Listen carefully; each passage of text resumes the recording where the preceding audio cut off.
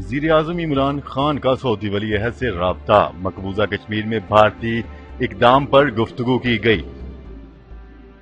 News report کے مطابق وزیر اعظم عمران خان نے سعودی ولی عہد محمد بن سلمان سے رابطہ کر کے مقبوضہ وادی میں بھارتی اقدام سے پیدا ہونے والی صورتحال پر گفتگو کی اور بھارتی ظلم و بربریت سے بھی آگاہ کیا۔ تفصیلات کے مطابق وزیر اعظم عمران خان نے سعودی ولی عہد محمد بن سلمان سے ٹیلی فونک رابطہ کیا۔ اور کشمیر کی صورتحال پر گفتگو کی۔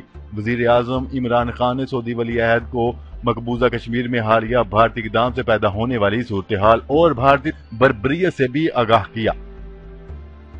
سعودی پریس ایجنسی کے مطابق دونوں رہنماؤں میں خطے کے موجودہ صورتحال پر بھی تبادلہ خیال کیا گیا۔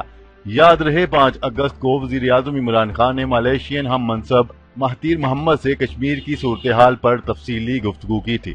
وزیر اعظم عمران خان نے کہا تھا کہ کشمیر کی خصوصی حیثیت ختم کرنا عالمی قوانین کی خلاف ورزی ہے۔ بھارت کی غیر قانونی حرکت خطے کا امن برباد کرے گی۔ موجودہ حالات میں ہمسایہ ممالک کے تعلقات مزید کشیدہ ہوں گے۔ مہتیر محمد کا کہنا تھا کہ ملیشیا موجودہ صورتحال پر مکمل نظر رکھے ہوئے ہے اور صورتحال کے تناظر میں مکمل رابطے میں رہے گا۔ اسی دن وزیر اعظم عمران خان نے ترک صدر رجب طیب اردگان سے بھی رابطہ کیا اور دونوں رہنماؤں نے مقبوضہ کشمیر کی موجودہ صورتحال اور بھارتی جارحیت پر تبادلہ خیال کیا۔ اس موقع پر وزیر اعظم عمران خان نے کہا کہ کشمیر کی خصوصی حیثیت ختم کرنا خطے کے امن پر سر انداز ہوگی۔